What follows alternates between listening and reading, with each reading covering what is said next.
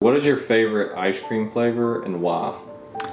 My favorite ice cream flavor is Butterfinger because in college there was an ice cream bar and it was always a really good day when they had Butterfinger ice cream because I would take that and I'd mix it with the really terrible coffee that they had and I would stir it up into a milkshake and that was just, this made for a really good day. Is cookies and cream because you take milk's favorite cookie and you put it with the best form of milk.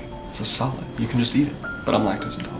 Ben and Jerry's cinnamon bun. It's my favorite. Best two in one. cookies and cream. Um, I grew up at Mississippi State, right around Mississippi State University, and they have really good cookies and cream ice cream. So I would always eat some on Sunday afternoon after coming home from church. Cake batter, just because that's what I always get when I go on a date or something. It's real sweet, and it's got a creamy flavor to it, and it's just a good all-around flavor. Strawberry cheesecake flavoring. Uh, it's just, uh, I think it's a really good blend together, and uh, I enjoy that.